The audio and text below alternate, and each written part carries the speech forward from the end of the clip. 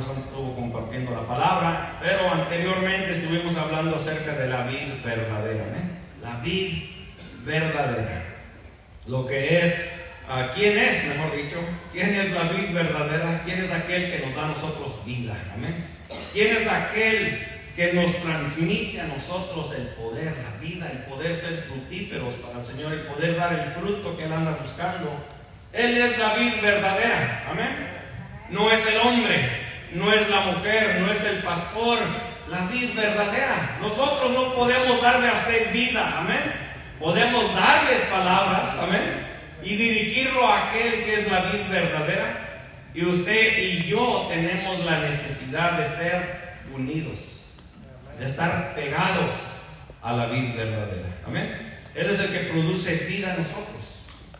Y aquel que está pegado a la vid verdadera va a tener una transformación preciosa. Amén. El que está unido, el que está pegado a la vid verdadera, hermano, va a estar, va, va a haber cambios. Va a haber transformación, ¿verdad? Va a haber pasión, va a haber, uh, va a haber uh, una vida, va a haber, pudiéramos decir, lo que es uh, aquella actividad y aquella acción, aquel reflejo del carácter de Cristo, ¿verdad? El que está pegado, el que está unido a Cristo, hermano, muchas cosas cambian. La persona, oiga, es completamente distinta. Es diferente, la persona ya no se conoce es completamente diferente a lo que antes era. Aquel que está en Cristo. El que está en Cristo cambia. Amén. El que está en Cristo es diferente y el que está en Cristo deja de hacer las cosas que antes hacía. El que está en Cristo habla diferente. Amén. El que está en Cristo sus prioridades, sus prioridades cambian. Ya ahora, ¿verdad? Su meta ya no es tanto las riquezas, el afán del mundo. Ahora sus metas son celestiales. Son distintas, ¿verdad? Las cosas que cambian en aquel que sigue a Cristo, aquel que está pegado a Cristo. Y aún para el mundo, ¿verdad? Parece, ¿verdad? Que hasta uno se vuelve loco. Hasta así le dicen a uno, este está medio loco. Algo le pasó desde que le entregó su vida a Cristo, cambió. Ya no es el mismo, se mira medio raro. Amén. Así que el tema del día de hoy le pusimos por título, estamos locos. Amén. Estamos locos. ¿Cuántos locos hay aquí? Bueno, hay unos cuantos locos. Los demás a ver si se vuelven locos. Segunda de Corintios, vamos allí a Segunda de Corintios capítulo 5. Segunda de Corintios capítulo 5, versículo 13. Segunda de Corintios capítulo 5, versículo 13. ¿Ya está ahí? Segunda de Corintios 5:13 dice así, porque si estamos locos es para Dios. Y si somos cuerdos es para vosotros. Amén. Si estamos, dice así, porque si estamos locos, porque si estamos locos es para Dios. Y si estamos cuerdos es para vosotros para la gente. El mundo tiene a los cristianos por locos. Amén. Amén. Hay unos más locos que otros. Pero hay unos que todavía están un poquito cuerdos. Y es lo que me preocupa a mí. No me preocupan los locos, a mí me preocupan los cuerdos. Aquellos que todavía están en sus cinco sentidos y que están un poquito muy cuerdos y que no están locos para Dios. Estamos locos si estamos unidos y si permanecemos en Cristo. Estamos locos para Dios. Oiga, la persona cambia, la persona es completamente diferente a lo que era antes.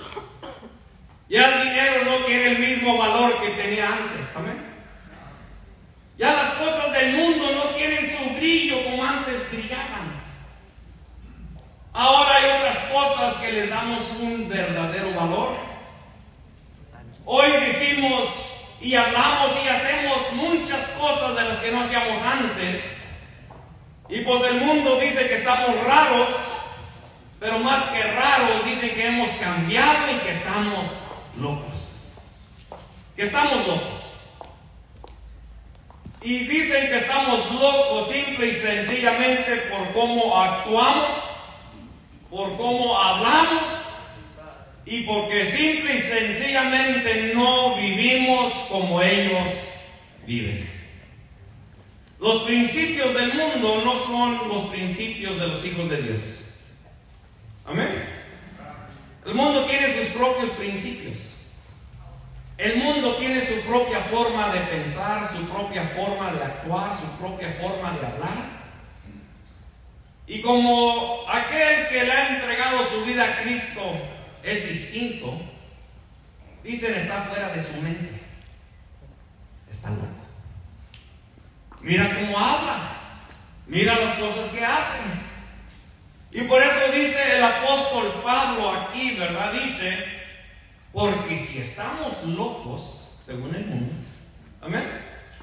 Porque si estamos fuera de nuestra mente, porque si somos distintos, porque si hacemos lo que hacemos y porque hablamos lo que hablamos, es para Dios. Amén. Es para Dios. ¿Se acuerda usted de David? Cuando llegó con el arca del pacto, con el arca que representa la presencia de Dios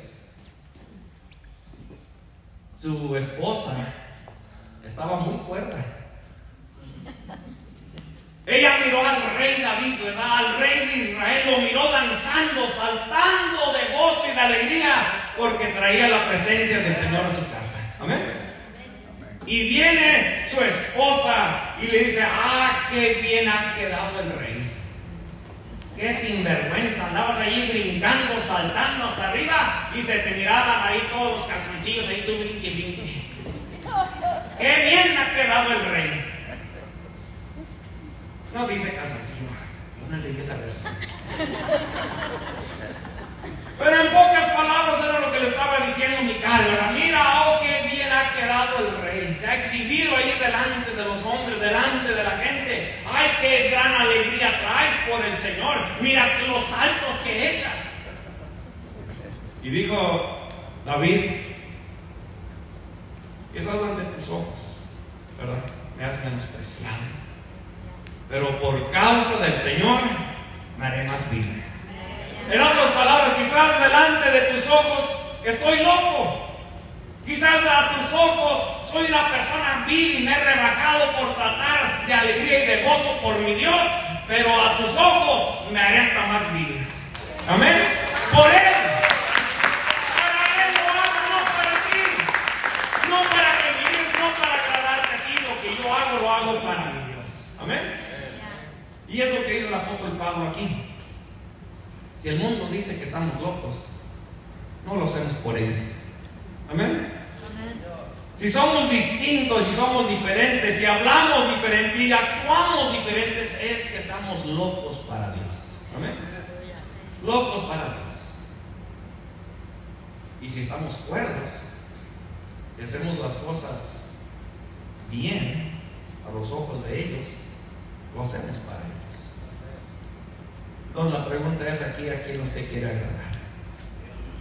¿Quiere quedar bien con Dios o quiere quedar bien con el mundo? El mundo, ¿verdad? Mira a los hombres que se van a llenarse con botellas de vino, con botellas de cerveza. Andan bien alegres los hombres. Y andan tomando y se suben a esa camioneta y se van recio por las. A eso no le llaman locura. A eso le llaman, eso es un hombre. Eso es un hombre macho. Eso es un hombre trabajador que tiene derecho a salir y divertirse con sus amigos. Eso no es locura. Amén. Eso no es locura. Eso no es locura, ¿verdad? De que el hombre, ¿verdad?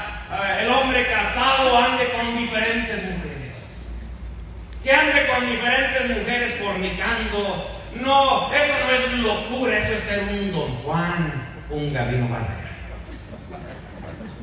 Hello. Eso no es locura, eso es cordura. Andar con muchas mujeres, no importa si llega a su casa e infecta a su esposa de sida o de otra enfermedad. Eso no es locura, eso es cordura. No es locura, ¿verdad? No es locura vivir distinto y diferente. Si la mujer embarazada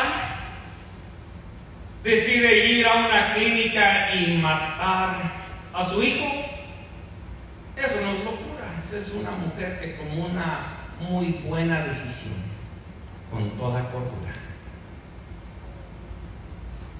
Locura es lo que los cristianos dicen.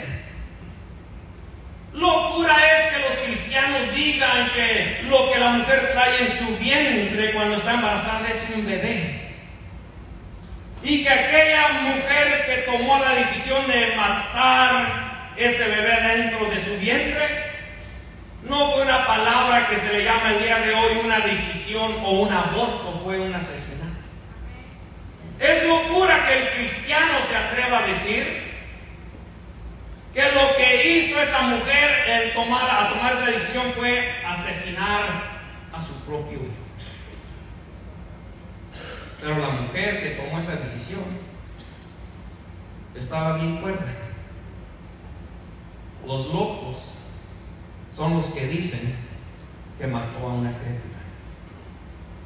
Eso es locura.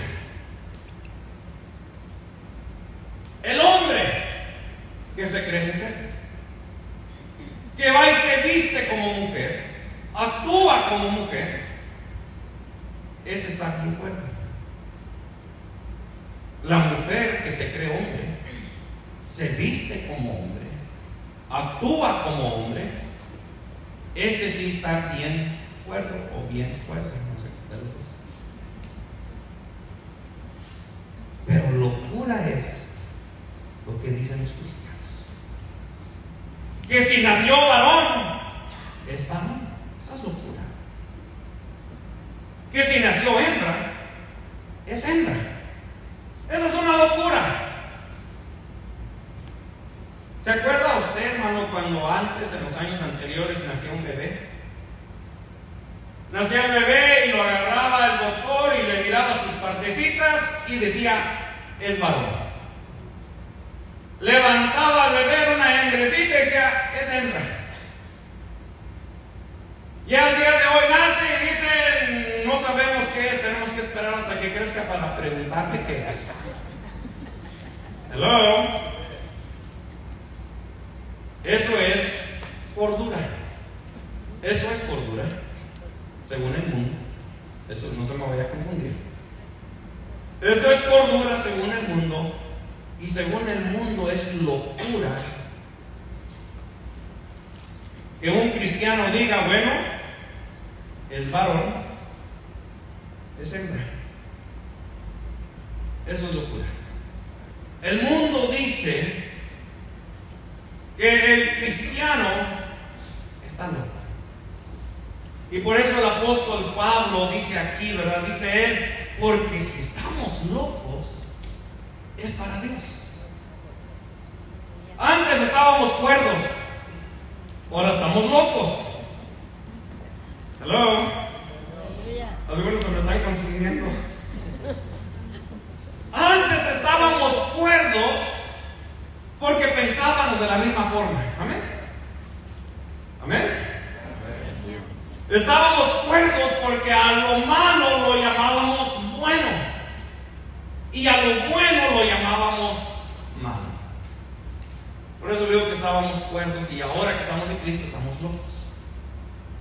Ahora nuestra mentalidad ha cambiado, estamos fuera de nuestra mente. En otras palabras, ahora tenemos otros pensamientos, tenemos otra forma de ver la vida, tenemos otros principios, actuamos diferente y hablamos diferentes. Y como no somos del mundo, ¿verdad? Estamos en el mundo, pero no somos del mundo. El mundo dice, estos están locos.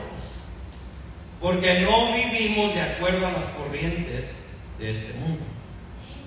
Y si una persona no está actuando igual que los demás, hello, si una persona no actúa igual que los demás, si una persona no habla igual que los demás, tiene que estar loco. Y por eso es que el mundo dice que estamos locos. Porque antes andábamos en el, igual que ellos. Estábamos cuerdos. Pero un día conocimos a Cristo. Nuestra vida fue transformada. Dejamos de ir a las cantinas, dejamos de emborracharnos, dejamos de andar con mujeres, dejamos de andar haciendo tantas cosas, dejamos todas aquellas prácticas y ahora decimos que Cristo nos ha perdonado y que vamos al cielo y la gente dice están locos. ¡Qué locura! Después de la vida que vivieron. Después de tantas ofensas, después de tanto pecado, después de ofender a Dios, ahora vienen y dicen que Dios los ha perdonado y que van al cielo. Es que sí, de veras que están locos. Por eso me están algunos confundiendo. De veras que estamos locos, amén. Porque la palabra del Señor dice que es locura la palabra de la cruz para los que se pierden. Amén. Es locura, no la y ellos dicen, ¿cómo es posible después de que hayan ofendido a Dios, después de que pecaron, ahora digan que Dios vino a perdonarles, que Cristo murió por ellos, derramó su sangre en la cruz y que ahora van al cielo y que van a mirar allá al Señor para siempre. Ellos dicen que es locura. Y dice que es locura la palabra de la cruz para este mundo. Es locura. Así que aquel que ha recibido la palabra del Señor tiene que estar loco. Tiene que estar loco. Por eso dice el apóstol Pablo, ¿verdad? Si estamos locos, es para Dios. Es para Él porque a Él le creemos su palabra, sus promesas. Para el mundo estamos fuera de nuestra mente porque antes cargábamos una botella, ahora cargamos una Biblia. Amén. Antes nos íbamos a las cantinas, ahora nos congregamos en la iglesia. Sí. Para el mundo estamos locos. Antes cantaba usted canciones, o cantábamos canciones de la hermana Paquita, la del barrio. Ahora cantamos al Señor. Estamos locos. Y es lo que dice el apóstol Pablo. Dice, para el mundo estamos locos. Y déjeme le digo, hermano, no trate usted, por favor, de agradar al mundo o ser como el mundo. No trate de agradar al mundo ni ser como el mundo, porque al mundo nunca le daremos gusto. Nunca. Para el mundo, usted y yo siempre seremos los raros, los locos, los fanáticos, porque no vivimos igual que ellos. Ahora déjenme le clarifico otro punto de lo cual el apóstol Pablo estaba hablando aquí. El apóstol Pablo no estaba aquí diciendo que solamente para el mundo estábamos locos. Amén. Si usted conoce la escritura, leído Corintios, se da cuenta aquí que en sí esta carta y estas palabras no se las estaba dirigiendo al mundo, se las estaba dirigiendo los creyentes. El apóstol Pablo le estaba diciendo, y es algo increíble, hermano, que le estaba diciendo a la iglesia, para la iglesia, soy un loco. Hello. Voltea a ese lado y mire cuántos locos hay a ese lado. O mire cuántos cuerpos llevan aquel. Bueno, aquí lo, lo amarramos después del servicio.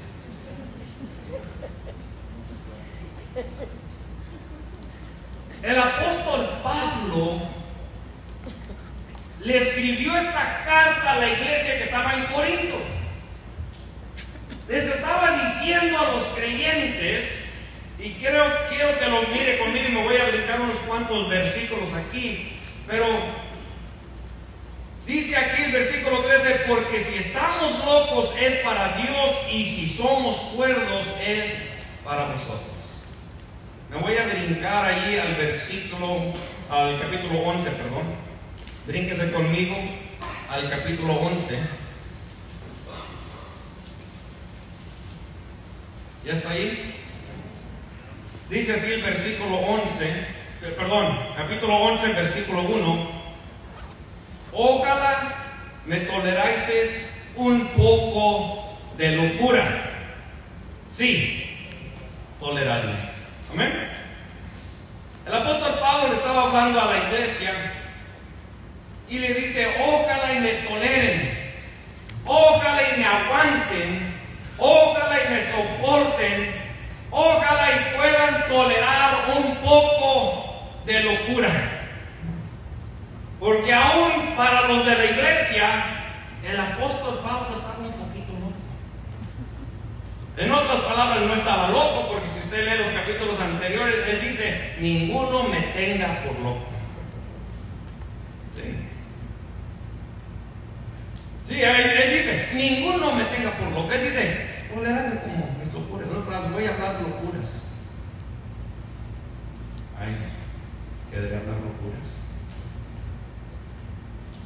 ¿Por qué el apóstol Pablo le dice a la iglesia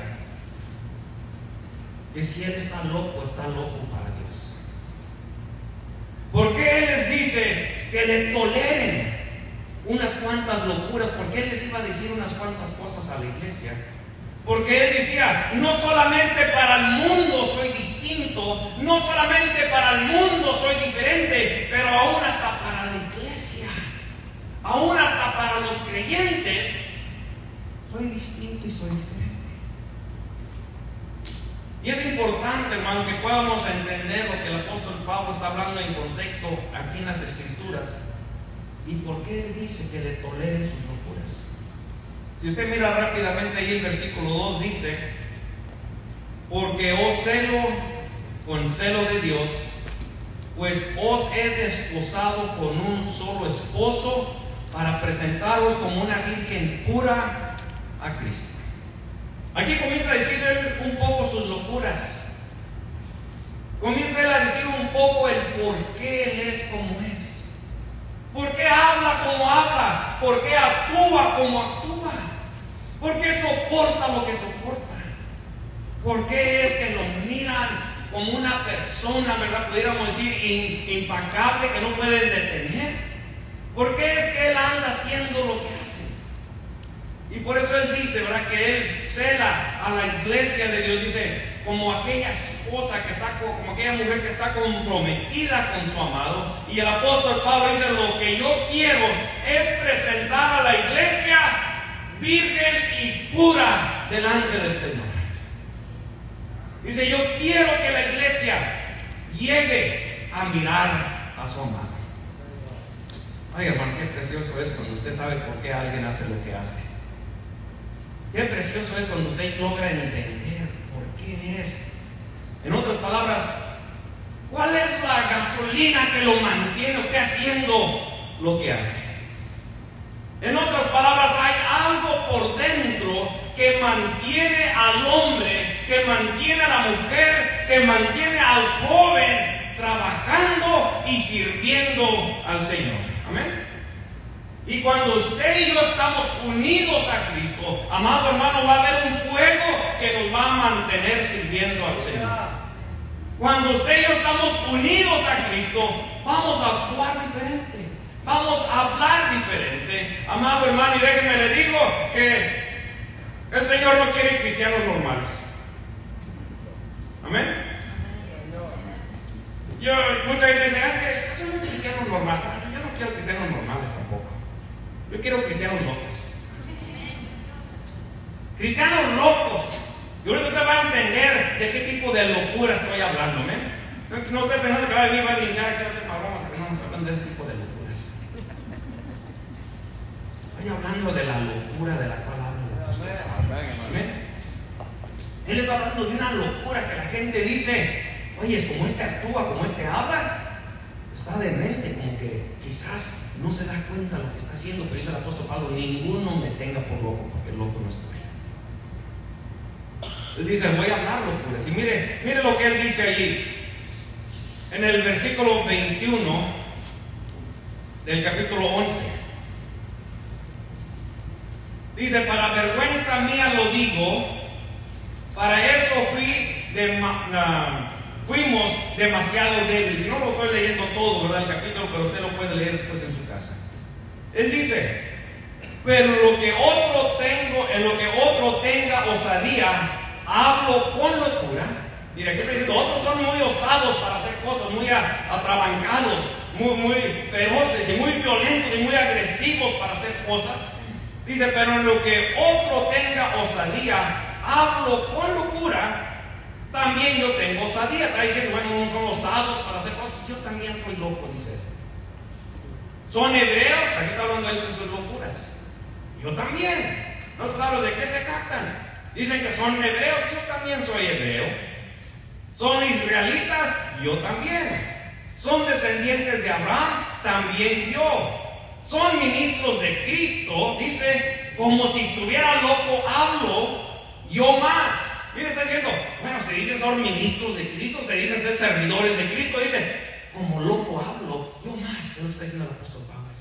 Por eso él dice, soportenme un poquito, tolérenme, aguanten un poco la locura que voy a hablar. Por algo lo estaba diciendo el apóstol Pablo, porque él dice, si yo estoy loco, es para Dios. Si estoy loco, es para Dios. Por eso dice aquí, por eso dice él aquí, ¿verdad? Dice que si él está ah, loco, ¿verdad? Como, o, si él ministra, si él trabaja, si él sirve, dice, hablo como loco, dice yo más. Y luego aquí dice, ¿por qué? ¿Y cómo se mira su locura? Dice, en trabajos más abundantes. En otros palabras, el apóstol Pablo dice que él se la pasaba trabajando para el Señor. En azotes sin número. Amén. Le dieron sus buenos azotes, mire cuántos. En cárceles más fue encarcelado el apóstol Pablo. En peligros de muerte muchas veces. Estuvo en peligro de muerte muchas veces. De los judíos, cinco veces, los que sean buenos para las matemáticas. De los judíos, cinco veces he recibido 40 azotes menos uno. ¿Cuántos azotes recibió ahí? 200, cúmbele 5, 195. 195 azotes en la mera espalda. ¿Vienes a hablarnos de Cristo? Venga. Ese fue uno. No le voy a dar 195 porque se me va a cansar el brazo. 195 azotes. Golpes recibió en la espalda del apóstol Fue a la cárcel, estuvo en peligro. Dice, de los judíos cinco veces he recibido 40 azotes menos uno. Tres veces he sido azotado con varas. Aparte de eso también con varas me dieron. Con palos, garrotazos, como decimos nosotros. Con varas. Una vez apedreado. Amén. Tres veces he padecido náufrago una noche y un día he estado como uh, náufrago en alta mar, en caminos muchas veces, en peligros de ríos, peligros de ladrones, peligros de los de mi nación, peligros de los gentiles, peligros en la ciudad, peligros en el desierto, peligros en el mar, peligros entre falsos hermanos. Aquí está diciendo, mire cuántas cosas he hecho. Por eso él dice, soporten mi locura. Amén. Tolérenme un poco la locura que voy a hablar. Y el apóstol Pablo lo que está diciendo, miren las veces que me han azotado, me han apedreado, miren las veces que ha estado encarcelado, las veces que ha estado en el desierto, oiga, teniendo que caminar, los que saben de caminar, porque algunos ya no saben ni qué es eso. Amén.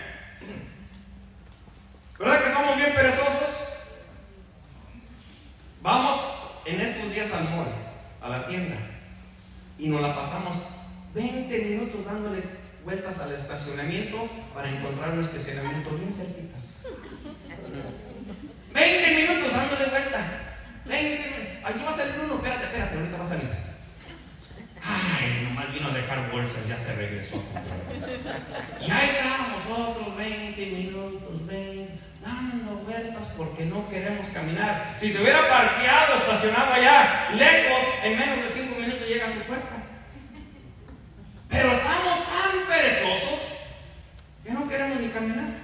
Solamente que nos fuercen a caminar. Y nos hacen más perezosos. Llegamos a la tienda, ya se tienen esos carritos electrónicos. Se sienta ahí. Y después pregunta por qué no puede quemar calorías. Ya no queremos ni caminar. Amén. Yo empecé a visto gente ahí y digo, este puede caminar y sí se levanta y llega y se va con sus maletas ahí, con sus bolsas a, su casa. Somos bien perezosos como personas. El apóstol Pablo, amado hermano, por favor entienda lo que por qué el apóstol Pablo dice que va a hablar como loco, como loco. El apóstol Pablo no tenía carro. Amén. El apóstol Pablo no tenía avión. El apóstol Pablo no tenía tren. Y para ir a predicar y testificar de Cristo, a donde quiera que iba, tenía que ir a pie. Hello. Era día de servicio. Bueno, hay que ir a congregarnos. Vámonos a pie. Llueva, relampaguee o caiga frío. Y aquí salen, ay, parece que va a llover. Mejor no vayamos a la iglesia. Aquí lo miramos en el Facebook.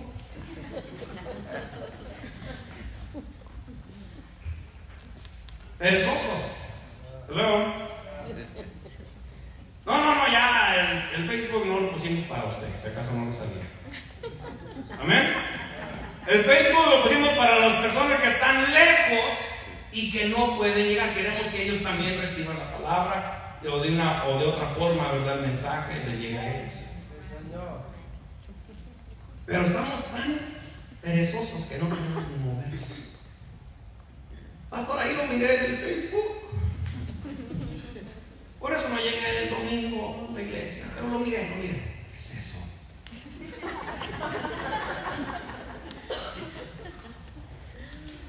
Y el apóstol Pablo, a donde quiera que él iba, caminaba. Y dice él, en peligro de desiertos. Amén. Por si usted no sabe lo que hay en desiertos, hay escorpiones, serpientes, hay ladrones. Y a donde quiera que él iba, hermano, caminó. Caminaba a donde quiera que él iba. Y dice, en peligro de río, porque, el día de hoy tenemos hasta puentes para brincar aquí en Payuco. Pero en aquel entonces llegaban a un río y ¿qué hacemos? Pues hay que atravesarlo. Y no por el puente caminando. Agárrese, vamos. Peligro de río, se los quería llevar la corriente, los quería ahogar, pero ellos que continuaban atravesando el río. Ahí hay ladrones, ahí no importa, vámonos, ahí están los ladrones. Continuaban su camino y lo decía, aún también en peligro de falsos hermanos. Imagínense. Oígame, de, de los que menos se tendría que cuidar, de los hermanos, estos eran falsos hermanos. Se tenía que cuidar de todo el mundo. Y por eso él dice, me han azotado cinco veces. 40 azotes menos uno. Me han azotado con varas, me han apedreado. Imagínense, hermano, yo no sé si usted lo han apedreado una vez. Cuando era chiquillo, yo creo. Volaban las pedradas, ¿verdad? Con una pedrada que le dieran, no se volvió a derrimar aquel lugar. Si le daban una buena pedrada, no volvía a acercarse a aquel lugar. Y el apóstol Pablo, hermanos, había vivido en peligro, no solamente de ser apedreado, azotado, no solamente de ser asaltado, no solamente de ahogarse en el mar, sino que el apóstol Pablo vivía todos estos peligros y todavía sobre todo peligro de cárcel, peligro de condenación de muerte, de pena de muerte.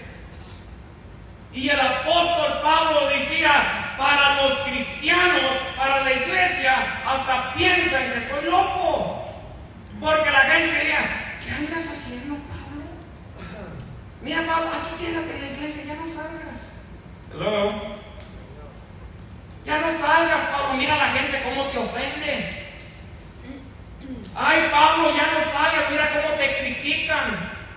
Ay, Pablo, ya no salgas a evangelizar. Un día de estos te van a saltar. Un día de estos te van a matar por ahí. Un día de estos va a pasarte un accidente y te vas a ir de este mundo. Y el apóstol Pablo le dice a la iglesia, ¿saben qué? Para ustedes parece que estoy loco.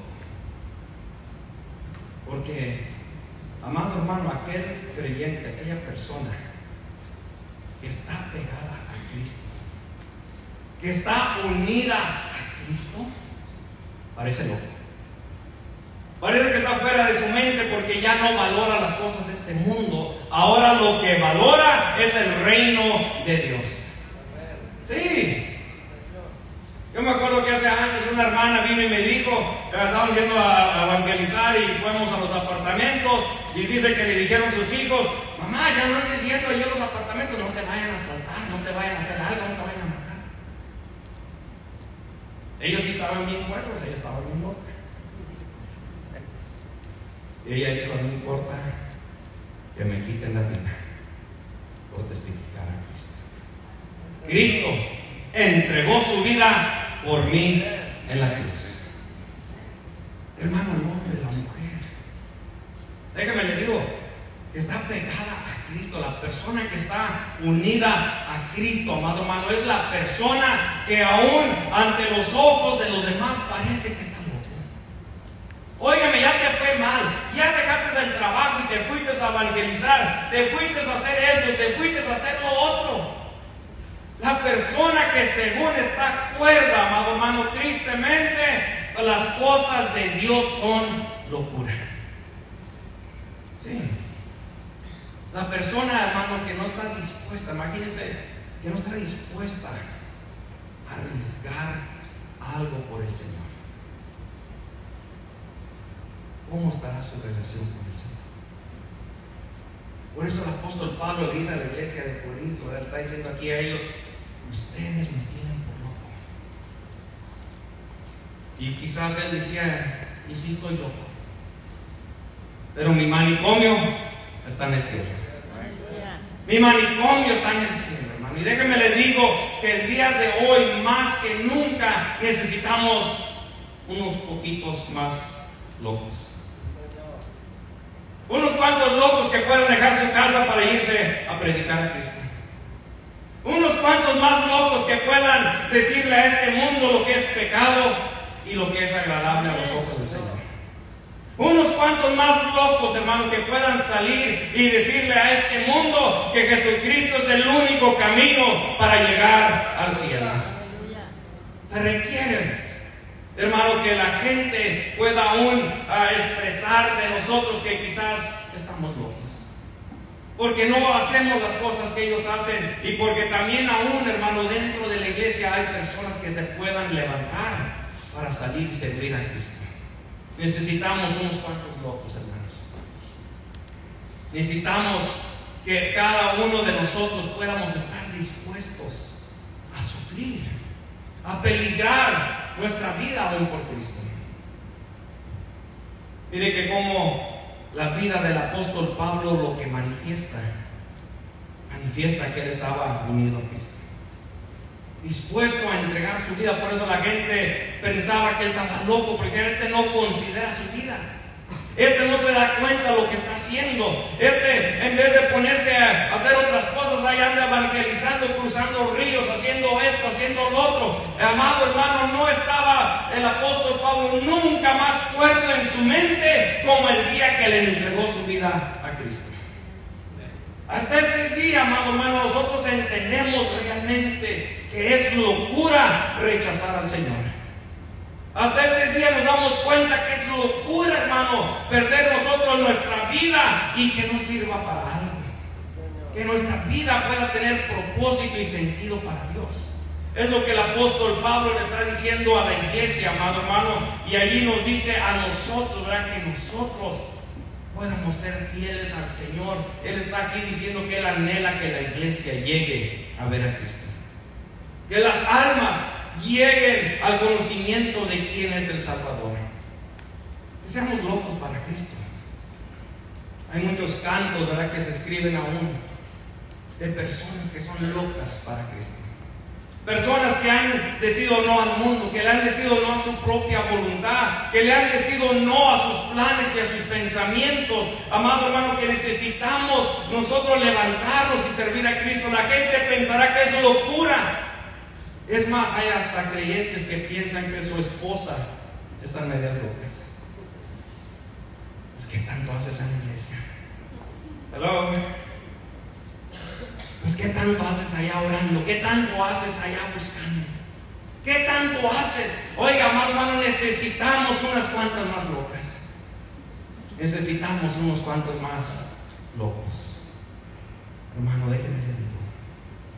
Aquel que está pegado a Cristo, aún dentro de la iglesia, su vida es distinta a los demás. Actúa diferente, habla diferente. Sus planes, sus propósitos, sus metas, sus acciones, todo lo que hace es distinto.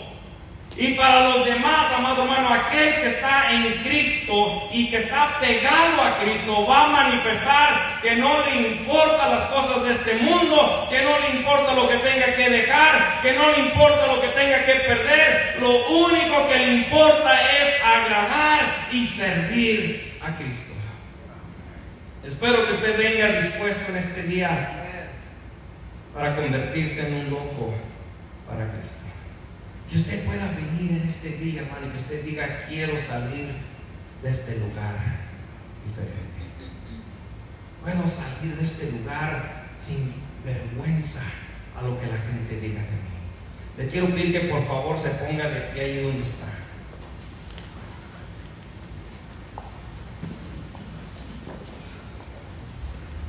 Cierre sus ojos por un momento donde está y póngase de pie, por favor.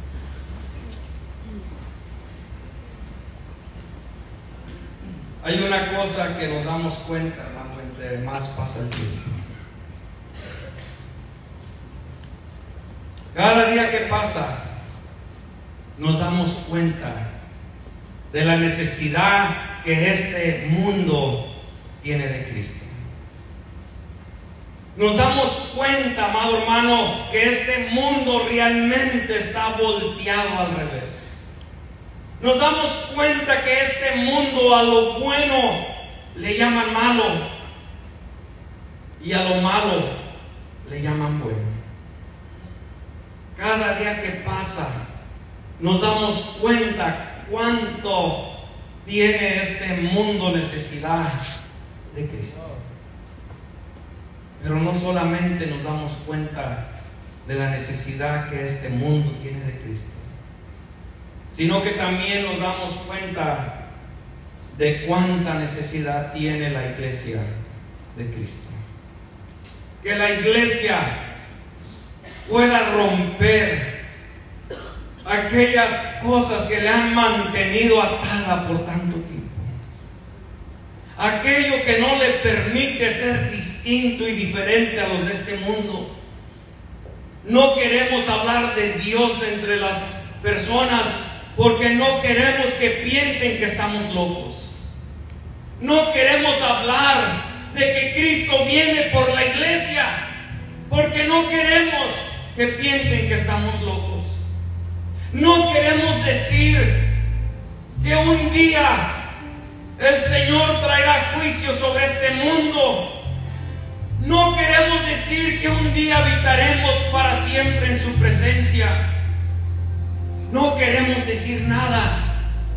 No queremos hablar de Dios. No queremos hablar de la salvación. Porque no queremos que piensen que estamos locos. Por eso el apóstol Pablo dijo, si estamos locos, es para Dios. Y si estamos cuerdos, es para vosotros.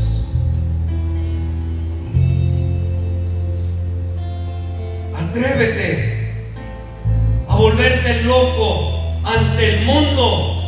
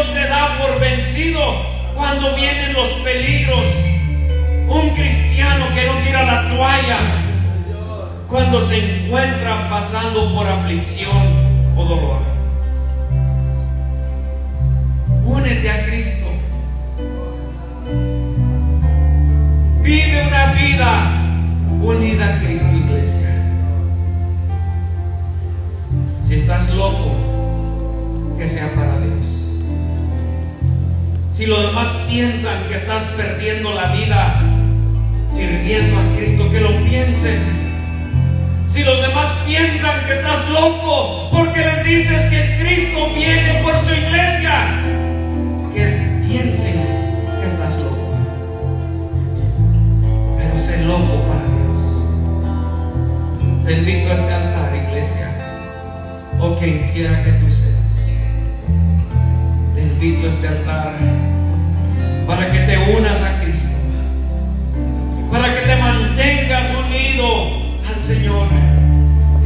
que tu vida realmente sea distinta a los demás, distinta al mundo y aún distinta a aquellos que están dentro de la iglesia, que están viviendo lo que llamamos una vida normal. El apóstol Pablo le decía a la iglesia, toleren mi locura, toleren que estoy dispuesto a sufrir, toleren dispuesto a cruzar ríos. Toleren que estoy dispuesto a decirles la verdad. Estoy loco